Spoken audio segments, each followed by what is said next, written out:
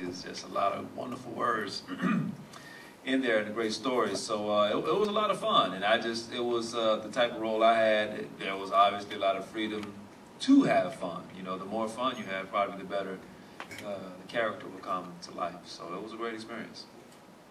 We did uh, we did the two scenes with uh, um, Katie and Vanessa, and uh, we had a character Sam I Am. Um, we did four audition days. We we saw more than 200 people, and we just couldn't find that one person. I remember back in a premiere that I wrote, this guy came up to me and he said, hey, uh, um, you know, I loved your writing. If there's a part for me, can you write it? And, and that night, that's when I wrote Sam I Am. And thankfully, Eddie came down, killed it. Uh, um, yeah, you know, and, and, and it's cool. Uh, how do you all feel about the cast of the uh, film? I mean, were, were, weren't they kicking? They were amazing. Um, everybody, everybody that came in, um, they were like, as soon as they came in, boom, they you know they had a cast. Vanessa killed it, Katie killed it. Well, I mean, Vinny already had a part. We're you know we're inseparable. Him and him, him and Nick and I. Only person who uh, uh, I think auditioned for a part re really who I didn't know about was Roger Rignac. He played the pooch with sciatica. If you're up there, Roger. There he is, Roger. There he is. He, he auditioned for uh, uh for Teabag Tony. Uh, but then, you know, I said, you know what? I got a kind of a better role for you. And the whole, it, it's just this guy with a gun. Um, sciatica, he came up with. Falling, he came up with. The guy was just nuts. It was just crazy. Um, oh, and uh, okay, so uh, uh, Vanessa, say, say, some, say something that you remember about shooting the film. How, how awesome I was. truthfully, he, he, I, I, did not know he was going to ask me this. I really, truthfully, do think he's awesome. Um, he is such a visionary and so unique. He's putting together so many things I feel like we just haven't seen together before. Um, really drawing from a variety of different genres, and I saw that even in the audition sides, that the dialogue was so unique, and I'm one of those actors that really, you know, really get excited about the words. Um, not, not all actors necessarily do that, but I was so enthralled by the way that everybody spoke and the opportunity to say things that I, I kind of immediately wanted to make this like a film noir kind of person, but with this modern vernacular, and I was just thrilled. And uh, really, what's that? Um, Dakota is very kind. Uh, yes, there was. I had an idea that this character was um, to be a little bit of a film noir kind of. I, I, was inspired to think like you know Double Indemnity and Barbara Stanwyck and some sort of film noir characters that I was really excited about. And Dakota was kind enough to let me play with that, and and it really turned into. Um, for my storyline, turned into sort of the identity of what was going to happen with this person, and the, the parts, the scenes that were her scenes, had that film noir vibe. And uh, Dakota's very generous. He's very willing to listen to the actors and very willing to try things and really um, is willing to see what happens in the moment and is not hell-bent on making it go his way. And I think it's really to his credit. And then, you know, I get to benefit from that because I'm contributing and then I, and then I feel special. So thank you very much. I appreciate every and, opportunity. And, and, we did light it that way. I mean, we, we color it and made the colorist go, okay, give me a 50s kind of feel. That's why every footage that you see her, it's either, you know, in an old grainy kind of things, you know, suggesting that I guess we talked about it, you were you turned into a vampire in the 50s. Right, right, yeah. Right. Mm -hmm. That I had been sort of the undead for, you know, several years now.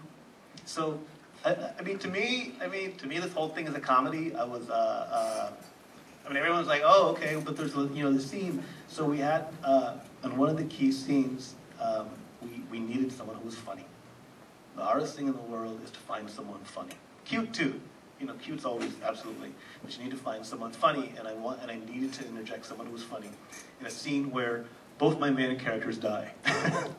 so Katie came in, you can hand it to her, um, and uh, she was the only person who uh, actually read for it in that kind of vein. Oops, I guess I got it wrong. um, I actually remember very distinctly in the audition that um, uh, unveiling the bullet wound and, and fake dry heaving. And you both, you and Craig were both like, oh, that's it. And I was like, oh, that was easy. Okay. Um, yeah, that was a, uh, I would say a strange experience and probably a once in a lifetime opportunity to have a gun held to my head and be trying to be funny at the same time. And it was 45 degrees. Yeah, that was that was um, a fun scene. It was freezing. It was December. It was. We were all covered in fake blood. Uh, yeah. Yeah, it was, we did it. was it- hardcore. I liked it.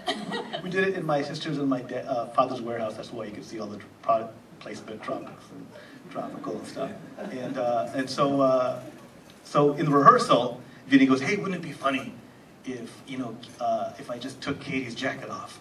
and I was like, no. and we didn't know. So I'm like, "No, Katie, you're wrong. Absolutely, it's funny." So then we get to the warehouse. It really is 45 degrees outside. Uh, the warehouse is a freezer. So you have to add that to it. And to top it off, it was raining. so uh, Brenda was in this. Freezer. It was It's a freezer. like an. It's like an actual freezer. It's an actual.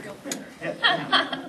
right. So uh, so so Vinny's got a jacket and Brenda's in the gurney, but there's a heater underneath The metal table was like a fire table. Yeah, right? So every time Vinny would fall down dead, he would like burn, scratch his face, and he's just like, oh, cut, cut.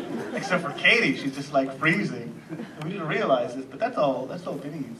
Vinny think that shit's funny. Yes. Yeah. That actual scene was shot, uh, that was probably one of the first scenes we shot to the film. Um, that was, yeah, pretty much, was it the first? or Second day, right? So that scene came before all of them. And we did a walk around the, the warehouse, and there was blood. You know, we, we knew about the, we had an idea of what the scene was going to entail. So we thought, you know, there's a, a stainless steel meat slab in that in that warehouse, and it actually had a round hole on the bottom for blood to drip. So we thought we'd use that and make it really, you know, uh, the real deal, and it, I think it worked. And, and it was very cold. It was a very cold morning. It was into the morning. It was like two or three in the morning. I, I didn't tell you, there was one time where I had to cancel rehearsal. We were in the warehouse, and, uh, you know, there's this meat kind of, you know, uh, scent to it, I guess. Uh, and so there's this sort of like, yeah, the scent of meat.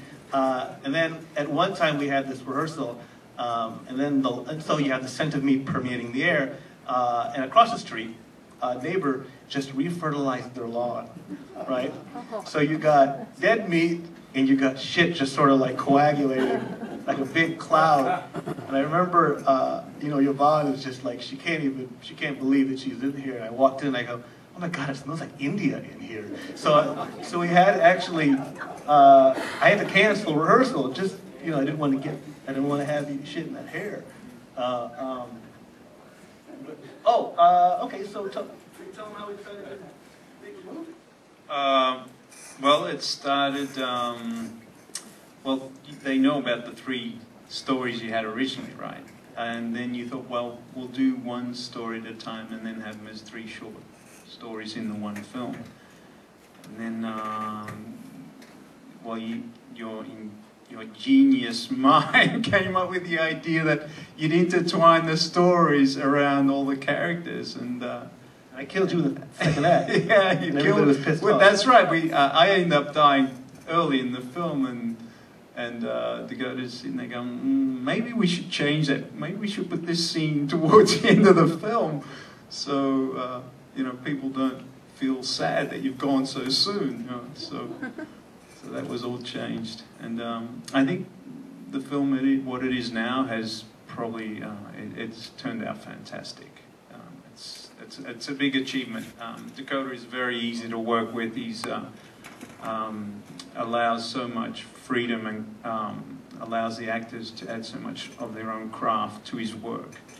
Um, I think for a first directorial, well, you did a stage show, a stage production, but working behind the camera is a lot different. Um, and I think uh, Dakota did a great job on his first uh, feature film. One of the reasons why I wanted to um, put people up here, um, just you know, just to you know, um, cast a light on like on like the actor life. Um, it's very hard, especially you know if you put them in silly situations and just, just boost that energy. You know, they have a real chance to to make them look like a fool. If I don't know what I'm doing or someone doesn't know, they can really look foolish. So just to put their faith in me and, and for me to reciprocate.